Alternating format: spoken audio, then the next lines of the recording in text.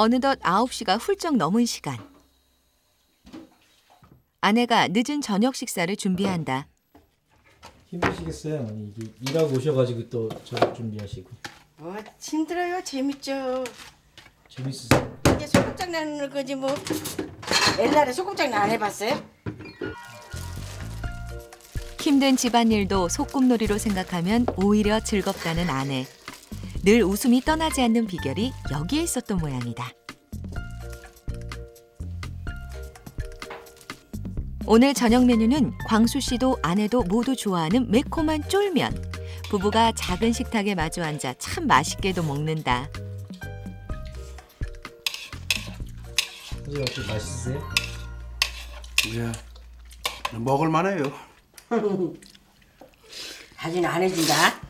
그럼 맛있다고 그래야지. 세상에서 제일 맛있다고 하면 좋으련만 무뚝뚝한 광수 씨다. 작은 애는 직장 때문에 나가 있고요.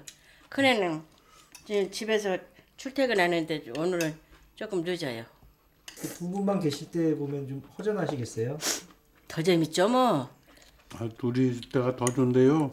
그래도 애들 있을 때가 좋아. 나 얼굴 보고 얘기하세요. 다시 한번 얘기하세요. 다시 한번 얘기하세요. 둘이 있을 때가 좋아요. 네. 무뚝뚝한 남편과 애교 많은 아내. 찰떡궁합이 따로 없다. 아이들이 없는 시간 부부가 모처럼 앨범을 꺼내들었다. 제가 총각 때는 머리가 이렇게 안, 그냥 안 그러게 머리 한다고 길, 길고 다니고 그랬어요. 놀랬다니까요. 깜라쳤어요 뒤로. 깜짝 놀래가지고 세상에 이렇게 생긴 사람도 있나 싶어가지고 이거 봐요 이거 얼마나 이상하게 생겼어요. 난리였어요 난리였어. 나는 회장님 회장님 뭐길래 맨 처음에 연애 때 다들 회장님 회장님 그래요. 누굴 보고요? 우리 애기 아빠한테 도대체 이 사람이 뭐 하는 사람인가? 와도 며칠 지나다 보니까 구두방 저기 천막 쳐놓고 구두방 하는데 저기 회장님이래. 나중에 보니까 건달 회장이었더라고. 놀기 좋아했던 젊은 시절. 아내를 만나기 전까지 철부지 광수 씨에겐 내일은 없고 그저 오늘만 있었다. 너무 저기 좀 철부지 시- 시절 같으지요 뭐. 머리 머리도 길르고 단정하게 못하고 후회스럽지. 지금 저게 뭐 후회 후회하죠 뭐. 아니 생긴 거는 그렇게 생겼어도 그리고 말 대화를 해보니까 사람이 꽉 찼더라고요. 광수 씨의 진면목을 알아본 유일한 사람 아내. 이러니 부부의 연은 따로 있는 게 분명한가 보다.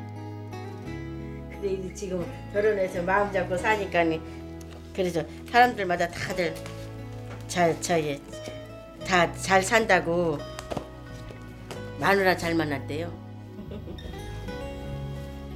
놀기 좋아했던 광수 씨가 결혼 후 달라져도 너무 달라졌으니 보는 사람마다 아내를 칭찬할 수밖에.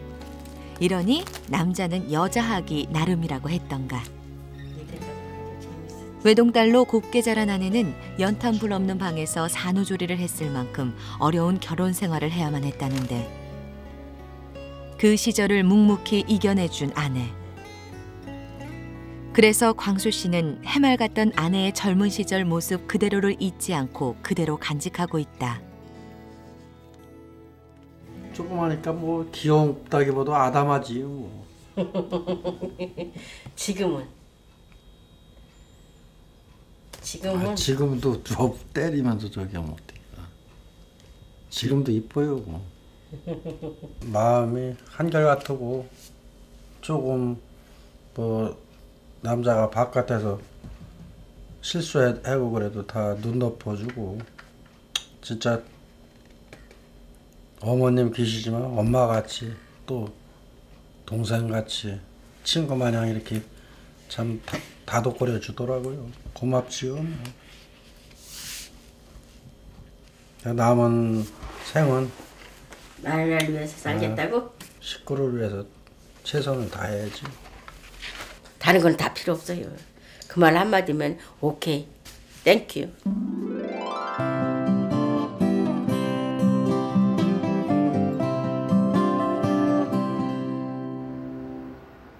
다음 날 아침 부부의 하루가 시작됐다. 집에서 직접 호떡 반죽을 만드는 아내. 전날 밤 미리 반죽을 해놓아야 맛있는 호떡이 된다는데 응, 호떡 반죽이요. 호떡 저녁에 해놨다가 아침에 갖고 가서 저기 발효돼야 되니까 저녁에 반죽을 해놔요. 그래서 반죽 때문에 이제 이거 좀 가져가세요. 예. 먼저 가겠습니다. 네, 이따 뵙겠습니다. 매일 아침 이렇게 아내의 호떡 반죽통을 자전거에 싣고 출근하는 광수 씨. 그런데 반죽통을 다루는 광수 씨의 손길이 무척이나 조심스럽다. 그도 그럴 것이 이 반죽통이 오늘 하루 아내의 장사 미천이니 애지중지 다룰 수밖에. 반죽통을 단단히 묶고 나서야 힘차게 페달을 밟고 광수 씨가 일터로 향한다.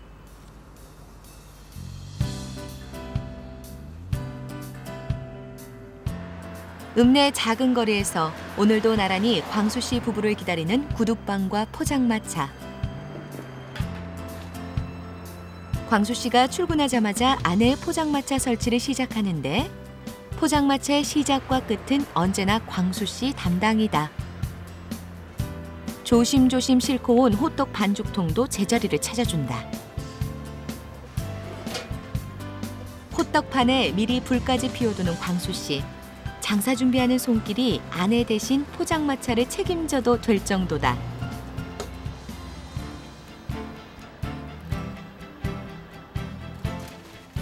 아직은 꽃샘추위가 한창인 때. 이번엔 바람막이용 파라솔을 설치하는 광수 씨. 찬바람 막아줄 문 하나 없는 포장마차에서 하루 종일 일할 아내를 생각하는 광수 씨의 마음이 고스란히 담긴다.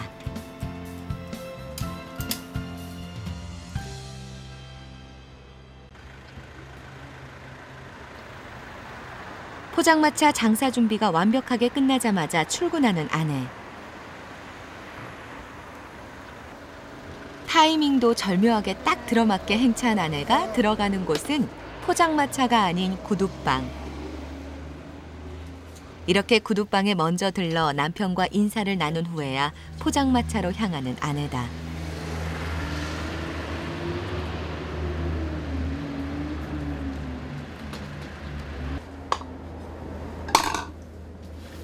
일찍 나오셨네요. 네, 일찍 나와요. 일찍 나와야지. 멀국이라도 얻어먹지. 하지만 아내가 일찍 나오는 이유는 아무래도 따로 있는 것 같다.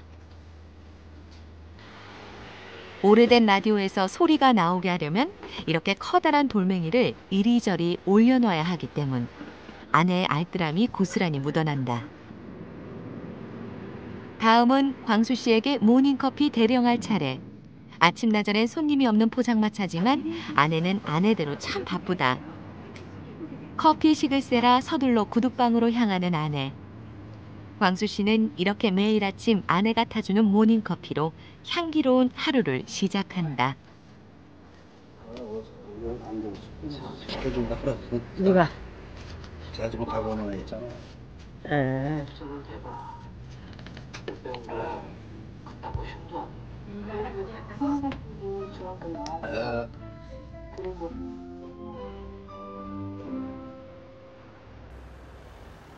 일을 하다 말고 광수 씨가 구두방 문 앞에 나와서서 누군가를 기다린다.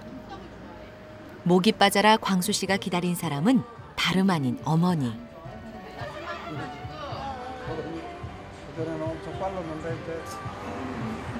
들어오셔. 병원에 갔다 오시는겨? 관절 때문에 오래전부터 병원에 다니고 있는 어머니. 광수 씨가 얼른 어머니를 안게 한다. 엄마 오셨어요?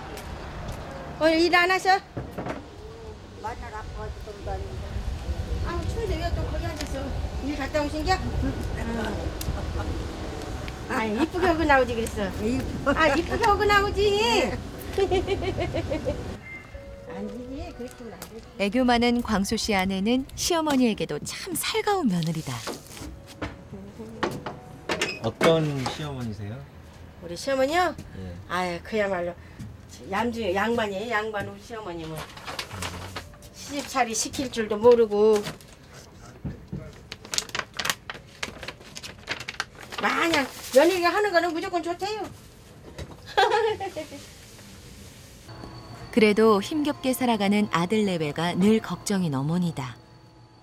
안쓰럽지 그럼 아지고 태어나가지고 부모 잘못 만나가지고 그냥 고생만 하다가 그건 어려서부터 맨날 어떻게 장사하고 또 닦으려고 해가지고 그래도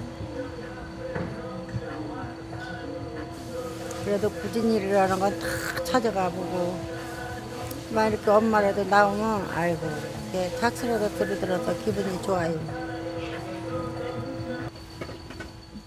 이수 아빠 다 됐어요. 오랜만에 들른 어머니를 위해 특별한 음식을 준비한 아내. 우리 어머님이 제일 좋아하시는 칼국수예요. 그래서 오랜만에 오셨으니까 칼국수 끓여드리느라고.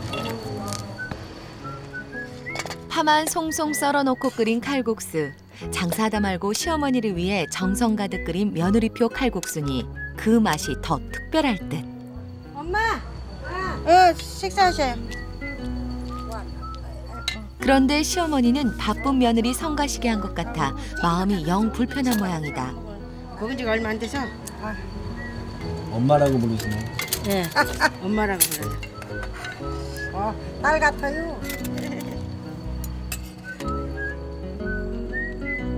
비록 잘 차려진 식탁은 아니지만 모처럼 아들 내외와 함께하는 점심 식사가 어머니에겐 최고로 맛있다.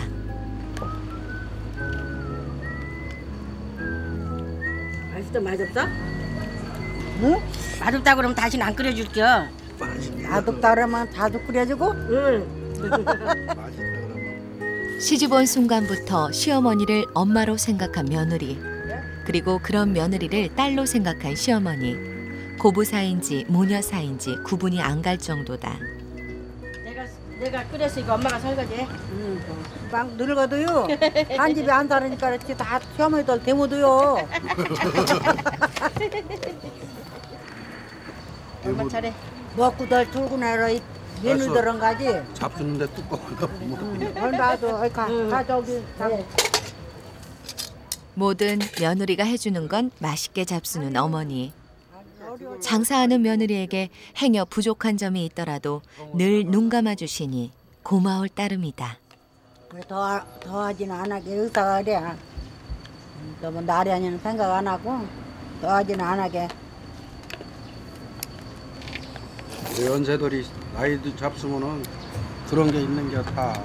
나만 다리 아픈 거 아니야 딴 사람도 다 그랬대 병원에 궁금해서 물으면 늘 어머니의 아픈 다리가 마음 쓰이는 광수 씨. 애써 태어난 척하는 어머니가 더 마음이 아픈데 오히려 아들이 걱정이란다. 아유 난 아들들한테 네가 맞은데 그래도 엄마 죽기 전에 몸 건강해야지. 나는 그래야 사람들 많이 살아서 좋다래. 새끼 앞 안 세우고 몸 건강해야? 저기지 늙은이들은 아파도 젊은 놈들 거기 한다고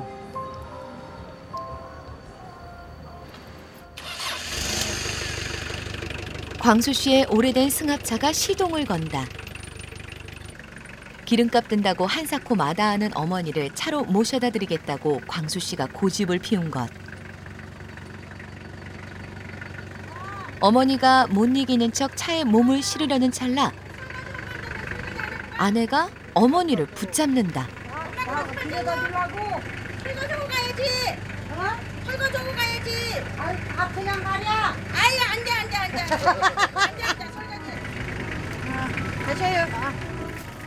결국 설거지는 광수 씨가 하기로 하고 어머니를 실은 낡은 광수 씨의 차가 달리기 시작한다.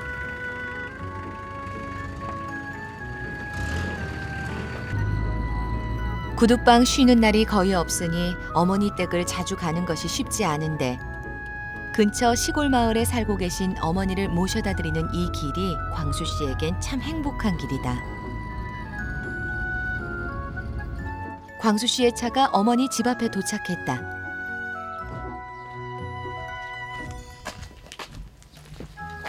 겉만 봐도 낡고 오래된 집. 시내로 나오시면 좋으련만 아들 내외 힘들다고 극구 이 시골집에서 지내겠다는 어머니다. 광수 씨는 이런 어머니의 마음을 잘 알기에 당분간은 어머니 편하신 대로 내버려 두기로 했다는데 하지만 이곳저곳 손볼 데가 많아지는 시골집 올 때마다 마음이 불편해지는 건 어쩔 수가 없다. 아무도 안 계시는 거예요 지금? 야 아무도 없어요. 막내 막내 동생은 이제 일 가고 조카도 일 가고 폈지요 뭐 지금. 갈게요 어머니. 어, 수고하셨어요. 몸조리 잘하시고.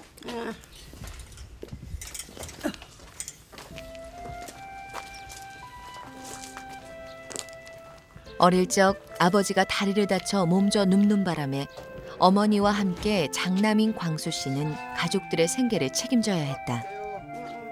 그런 광수 씨만 생각하면 아직도 마음이 아파오는데 늙은 노모에게 광수 씨는 여전히 아픈 손가락이다.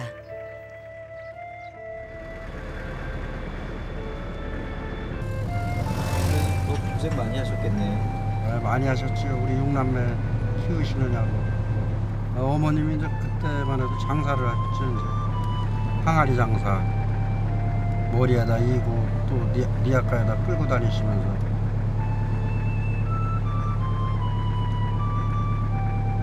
그러니까 저도 이제 어렸을 때부터 바로 초등학교 졸업하자마자 이제 이 사회생활을 하게 된 거예요.